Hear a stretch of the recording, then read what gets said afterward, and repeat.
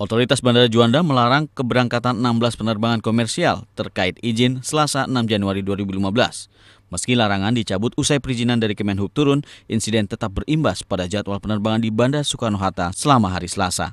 Salah satunya pada jadwal maskapai Trigana Air IL 708 rute Jakarta Pangkalan Bun pesawat mengalami keterlambatan atau delay selama kurang lebih 10 jam. Hal ini tak ayal dikeluhkan 162 orang penumpang yang seharusnya sudah bertolak dari Soekarno-Hatta pukul 9 lebih 15 selasa pagi. Salah satunya Suradi yang berencana ke Bangkalan Bun, Kalimantan Tengah untuk acara keluarga. Soekarno-Hatta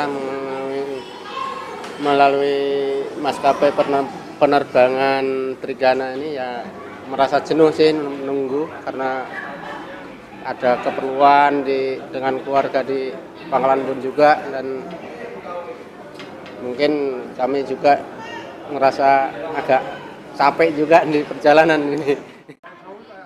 Pesawat Trigana Air yang melayani rute Jakarta Pangkalan Bun terlambat berangkat karena harus menunggu armada yang sama terbang dari Surabaya ke Pangkalan Bun. Pantauan tim Detik TV, pesawat Trigana rute Surabaya Pangkalan Bun baru bertolak kembali ke Jakarta pukul 17.30 menit. Selasa 6 Januari 2015, staf khusus Menteri Perhubungan Hadi M. Jurait menjelaskan pada Detikcom, larangan terbang ke 16 pesawat komersial merupakan langkah kehati-hatian pasca kecelakaan yang menimpa pesawat AirAsia KZ 8501 rute Surabaya Singapura.